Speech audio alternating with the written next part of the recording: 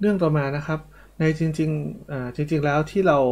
เรียนมานะครับใน array 1 มิติ หรือ array 2 มิติก็ตามนะครับ รูปแบบวิธีการวิธีการเขียนแล้วก็ไวยากรณ์อะไรต่างๆ ก็จะคล้ายๆ กันไม่ว่าจะเป็น 1 มิติหรือ 2 มิตินะครับฉะนั้นในเรื่องของ array 2 มิติเนี่ยเราจะจบไปตั้งแต่ในวิดีโอเมื่อกี้นี้แล้วนะครับวิดีโอก่อนหน้านะครับ ทีนี้เราไปดูนะครับ ไปดูเรื่องเชิงลึกของเกี่ยวกับ array ลงไปอีกนิดหนึ่งนะครับ ไม่ว่าจะเป็น array 1มิติหรือ 2 มิติก็ตาม แต่ว่าอาจารย์จะยกตัวอย่างขึ้นมาให้ดูเนี่ยจะเป็น array 1มิตินะครับ เราจะกลับมาที่ array 1มิตินะครับ แล้วก็มาดูเรื่องของการจองพื้นที่ของ array นะครับ ทีนี้เราย้อนกลับไปเรื่องของการจองพื้นที่ในเรื่องของ array นะครับ เวลาเราจะสร้าง array ขึ้นมาเนี่ยมันจะมี 2 ขั้นตอนถูกไหมครับ ก็คือการประกาศ array แล้วก็การจองพื้นที่ ดังนั้น ถ้าสมมติอาจารย์เขียนโค้ดแบบนี้ครับอาจารย์เขียนโค้ดว่า int score 1 ก้ามปู เท่ากับ new int 5เราทุกคนน่าจะเข้าใจถึงจุดนี้แล้วครับว่า ตัวนี้ครับเราประกาศสกอร์1ขึ้นมานะครับ แล้วไปจองพื้นที่ในหน่วยความจำทั้งหมด 5 ช่อง บรรทัดที่ 2 ครับ int score 2นะครับ int score 2แล้วก็ new int 5ก็คือไปไปจองพื้นที่ในหน่วยความจำ5ช่อง ตั้งชื่อว่า score 2หน้าตามันจะเป็นแบบนี้ครับ เวลาเราสั่งบรรทัดที่1นะครับ สั่งบรรทัดที่1เนี่ย มันเจอคำสั่ง new นะครับ ถ้าจำถ้ายังจำกันได้อาจารย์บอกว่าถ้ามีคำสั่ง new นะครับ เมื่อไหร่มันจะวิ่งไปจองพื้นที่ในหน่วยความจำตามจำนวนที่เรากำหนด เช่น เราเจอ new int 5มันก็จะวิ่งไปที่หน่วยความจำว่าตรงไหนมันว่าง อย่างเช่นตำแหน่งที่ 100เนี่ยมันว่าง มันก็จะไปล็อกตำแหน่งว่า โอเคตำแหน่งที่ 100 นะ เราจอง int ไป 5 ช่อง 1 2 3 4 5ดังนั้นเราในคำสั่งแรกมันก็จะจองอยู่ตรงนี้นะครับ ในทำนองเดียวกันครับ ถ้าเราประกาศ int score 2แล้วก็จองพื้นที่ในหน่วยความจำ5ช่องเช่นกัน มันก็จะไปวิ่งอีก โอเค มันอาจจะ random ไปเจอตำแหน่งที่ 500 ที่มันว่างนะครับ ก็จะจอง int น นะครับ5ช่องก็คือ 1 ช่องที่ 1 2 3 4 5 ทั้งหมด 5 ช่อง ฉะนั้นสกอร์1จองสีเหลืองครับ สกอร์2จองสีฟ้านะครับ ทีนี้มันเกิดอะไรขึ้น มันมันมีความสำคัญยังไงจำไว้คำนี้ครับจำไว้ในใจก่อน new เมื่อไหร่ เจอคำสั่ง new เมื่อไหร่ มันจะจองพื้นที่ในหน่วยความจำที่ใหม่ทันทีนะครับ ฉะนั้นอาจารย์ new 2 ครั้งก็จอง 2 พื้นที่นะครับ ทีนี้ ตัวแรกนะครับชี้ไปที่ 100 ตัวที่ 2 ชี้ไปที่ 500 นะครับ แล้วถ้าสมมุติอาจารย์เอา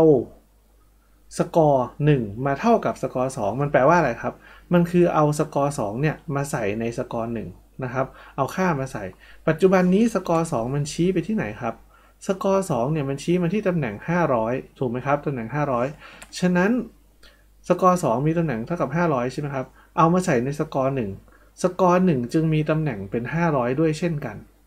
แล้วมันเกิดอะไรขึ้นครับ มันก็จะเกิดหน้าตาเป็นแบบนี้ครับว่า score1 มันชี้ไปที่ตำแหน่ง 500 score2 ก็ชี้ไปที่ตำแหน่ง 500 แล้วไอ้ score1 สีเหลืองๆตรงเดิมมันหายไปไหน การที่เรากำหนดอย่างนี้นะครับ คือเขาเรียกว่ามันจะชี้ไปที่หน่วยความจำตำแหน่งเดียวกันนะครับ มันจะมีเส้นจากคำว่า score1 เนี่ยชี้ไปที่ตรงนี้ score2 ชี้ไปที่ตรงนี้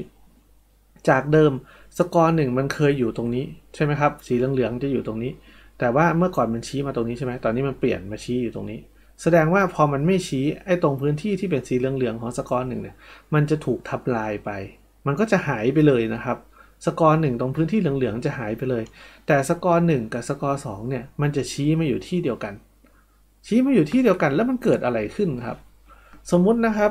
เรามาไล่คำสั่งนะครับ มาไล่ตัวอย่างตามตัวอย่างของอาจารย์นะครับ สมมุติว่าอาจารย์มีคำสั่งอยู่ 2บรรทัด คือ int สกอร์1มีค่าเท่ากับ 0 2 6 7 ถูกไหมครับ แล้วก็ int score 2มีค่าเท่ากับ 4 5 9 1 นะครับ2ตัวนี้ครับ มันไปจองพื้นที่ในหน่วยความจำคนละที่กัน มันก็จะเหมือนรูปนี้เลยครับ มันก็จะเหมือนตรงนี้ครับ อันนี้ก็จะมีค่าหนึ่งอันนี้ก็จะเป็นค่าของสกอร์หนึ่งนี่ก็จะเป็นค่าของสกอร์สองนะครับ ทีนี้พอเจอคำสองคำสั่งมาทันนี้นะครับ อาจารย์สั่งว่าให้ลองแสดงสมมติอาจารย์เขียนโค้ดนะโค้ดยังไงก็ช่างมันเถอะ อาจารย์เขียนโค้ดแสดงว่าตำแหน่งของสกอร์หนึ่งมันออกมาเป็นเลขอะไร สกอร์สองเป็นเลขอะไร อาจารย์สั่งออกมาปุ๊บเนี่ยมันจะบอกว่าตำแหน่งของสกอร์หนึ่งอยู่ที่ตำแหน่ง 7D 772E นี่คือตำแหน่ง นี่คือตำแหน่งในหน่วยความจำนะครับ อยู่ตรงไหนในหน่วยความจำไม่รู้ แต่มันออกมาเป็นตำแหน่งนี้ เพราะว่าสกอร์หนึ่งไปอยู่ที่หนึ่งไอ้ตรงสีเหลืองอะจำได้ไหมสีเหลืองก็อยู่ที่หนึ่ง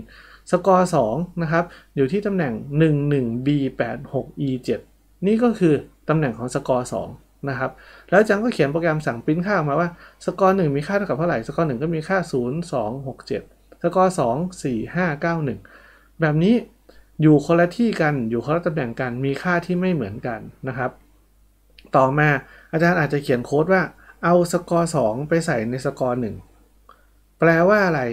ถ้าเอาสกอร์สองไปใส่ในสกอร์หนึ่งแปลว่าเอาค่าตำแหน่งของสกอร์สองไปใส่ในตำแหน่งของสกอร์หนึ่งฉะนั้นอาจารย์ลองปริ้นตำแหน่งออกมาอีกทีหนึ่งนะครับ สกอร์หนึ่งจากเดิมนะครับที่เป็น 7d 772e จะถูกเปลี่ยนเป็น 11b 86e 7 เปลี่ยนไปแล้ว เปลี่ยนไปเป็นยังไง มันเปลี่ยนไปอยู่ตำแหน่งเดียวกันกับของตัว สองนะครับ เห็นไหมเลขเดียวกันเลย เลขเดียวกันเลย มันเปลี่ยนไปแปลว่ามันมาชี้ที่เดียวกันนะครับ มันอยู่ที่ตำแหน่งเดียวกัน มันมาชี้ที่เดียวกัน ฉะนั้นตรงนี้นะครับสกอร์ หนึ่งกับ สองมันชี้ที่เดียวกัน แล้วอาจารย์สั่ง print score หนึ่งออกมา มันเลยกลายเป็นค่า 4 5 9 1อ้าวเหมือนกับ สองเลย เพราะอะไรก็เพราะว่าเมื่อก่อนมันเคยชี้ตรงเหลืองๆตรงนี้ครับ แล้วมันหายไป มันเปลี่ยนมาชี้ที่เดียวกัน แสดงว่าตอนนี้มันก็จะเอาค่าของ สองเนี่ยนะครับ ค่าที่มันชี้เนี่ยมาโชว์ฉะนั้นสกอร์ หนึ่งก็จะมีค่า 4 5 9 1 เหมือนกับ score2 4 5 9 1 เป๊ะเลย เพราะอะไรทำไมมันถึงเหมือนกัน ก็เพราะมันชี้มาที่เดียวกันถูกไหมครับ มันชี้มาที่เดียวกัน ทีนี้พอมันชี้มาที่เดียวกันถ้าอาจารย์เปลี่ยนครับ อาจารย์เปลี่ยนบอกว่าสกอร์ หนึ่งตัวที่ 0 จากเดิมที่เป็นเลข 4 ใช่ไหมครับ เปลี่ยนมาเป็นเลข 20 สกอร์ หนึ่งก็คือช่องแรกนี้ครับ จากเดิมที่เป็น 0 อาจารย์เปลี่ยนเป็นเลข 20คำถามคือสกอร์หนึ่งชี้มาที่ตรงนี้ สกอร์สองชี้มาที่ตรงนี้ ถ้าถ้าเปลี่ยนสกอร์หนึ่งถามว่าสกอร์สองเปลี่ยนด้วยไหม มันจะเปลี่ยนด้วยนะครับ เพราะว่ามันชี้มาที่เดียวกันฉะนั้นพอชี้มาที่เดียวกันแปลว่าสกอร์หนึ่งมันถูกเปลี่ยนค่าใช่ไหมครับ จากเดิมที่เป็น 4 เปลี่ยนมาเป็น 20 ก็จะเป็น 20 5 9 1 สกอร์ 2 จึงถูกเปลี่ยนเลขตามไปด้วยก็คือ 20 5 9 1 แบบนี้นะครับ มันจะเป็นลักษณะที่เรียกว่า การ Copy Array นะครับ การ Copy Array แต่ว่าจริงๆ มันไม่ใช่ Copy จริง ๆ มันเป็นการแค่ระบุว่าสกอร์หและสกอร์สมันชี้มาที่เดียวกันมามองในจุดจุดเดียวกัน ลองนึกง่ายๆครับ สมมุติว่าเรากำลังนั่งอยู่กับเพื่อนเรานั่งข้างๆนะครับ เรานั่งอยู่โต๊ะนี้นะครับ แล้วก็เพื่อนเรานั่งข้างๆ แต่เรามองไปที่จุดจุดเดียวกัน เรามองไปที่จุดจุดเดียวกัน เช่น เรามีทีวีอยู่ในห้อง เรามี เรานั่งอยู่ 2 คนนั่งอยู่ในห้อง และมีทีวีอยู่หนึ่งเครื่องนะครับเรามองไปที่ทีวี เพื่อนมองไปที่ทีวี ถามว่าถ้าเราเปลี่ยนช่องเพื่อนเราจะเห็นด้วยไหมเพื่อนเราจะยังดูช่องเดิมไหมเพื่อนเราก็จะต้องถูกก็จะเห็นช่องใหม่ตามไปด้วยถูกไหมครับ แสดงว่าเพื่อนเราหรือเรามองไปที่ที่เดียวกัน ถ้าที่นั้นเปลี่ยนมันก็จะเปลี่ยนตามไปด้วย แบบนี้เรียกว่า